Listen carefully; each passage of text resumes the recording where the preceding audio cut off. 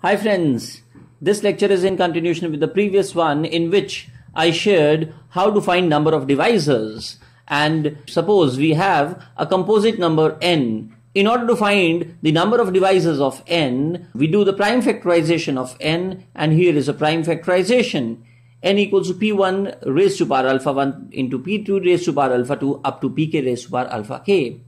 Suppose I need to find the number of divisors of a number n. What will I do? I will multiply the powers after adding 1 in each power. So alpha 1 plus 1 times alpha 2 plus 1 times up to alpha k plus 1. Now I got so many queries that why does this formula work or justification for the formula. So in this lecture I am going to give the justification that why does this method work.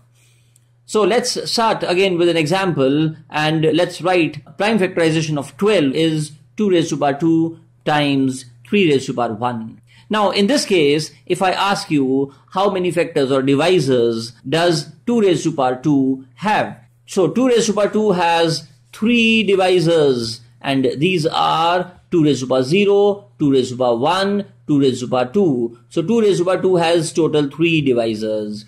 Similarly, divisors of 3 raised to power 1 are 3 raised to power 0 and 3 raised to power 1. So total number of divisors of 3 raised to power 1 are 2.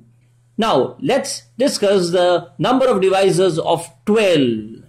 The first divisor of 12 will be 2 raised to power 0 times 3 raised to power 0.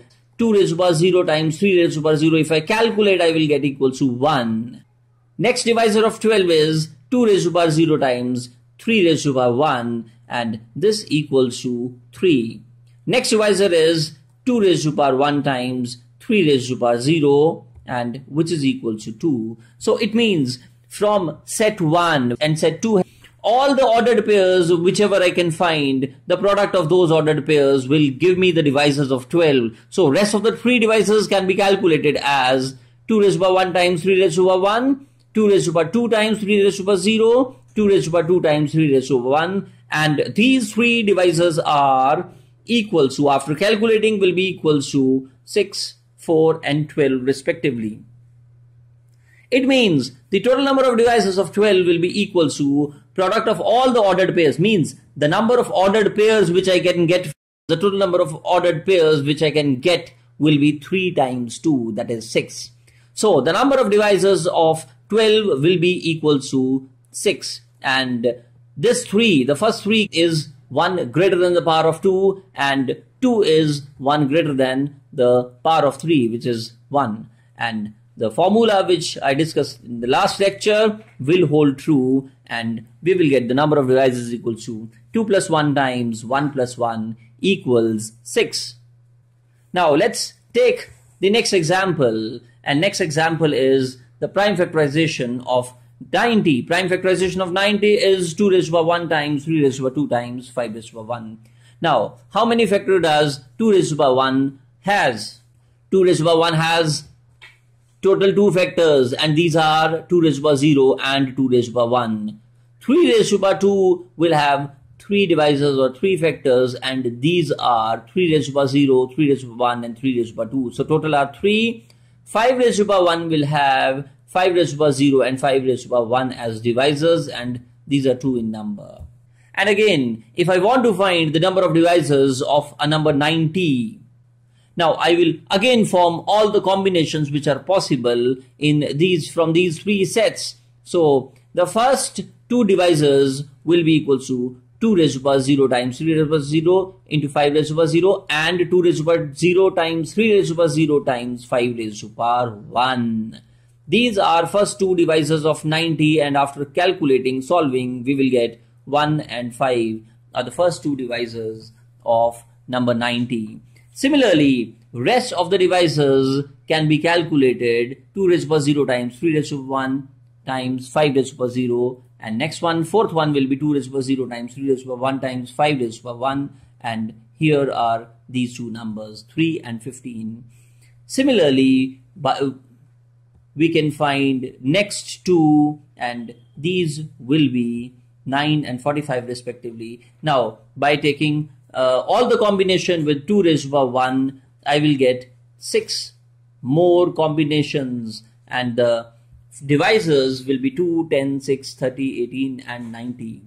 So the number of divisors in this case will be equal to 2 times 3 times 2 and 2 is 1 greater than the power of 2, uh, 3 is 1 more than the power of 3 and 2 is 1 more than the power of 5 and the formula again holds true. Number of divisors of 30 will be equal to 1 plus 1 times 2 plus 1 times 1 plus 1 which is equal to 12 and if I generalize it for any composite number p so the prime factorization of any composite number p is given by p1 raised to power alpha 1 times p2 raised to power alpha 2 up to pk raised to power alpha k where p1 p2 up to pk are the prime factors and alpha 1 alpha 2 up to alpha k are their respective powers.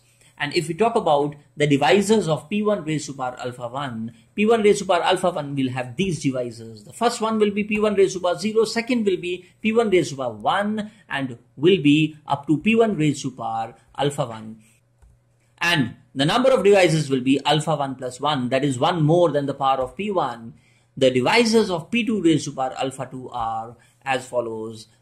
P2 raised to power 0 p2 raised to power 1 up to p2 raised to power alpha 2 and the number of divisors will again be 1 greater than the power of p2 that is alpha 2 plus 1 if we talk about the last prime factor pk the divisors of pk raised to power alpha k will be pk raised to power 0, pk raised to power 1 up to pk raised to power alpha k.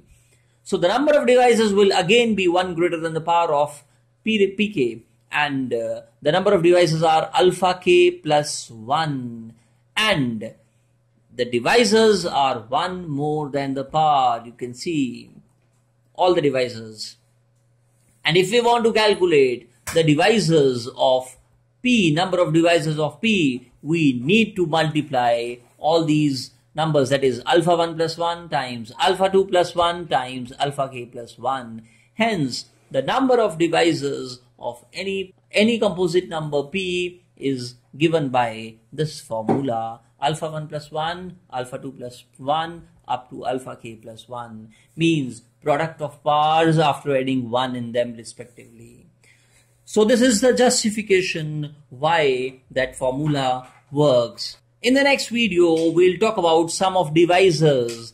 Friends, if you like the video, click on like button and subscribe in order to see more videos. Thank you and have a nice day.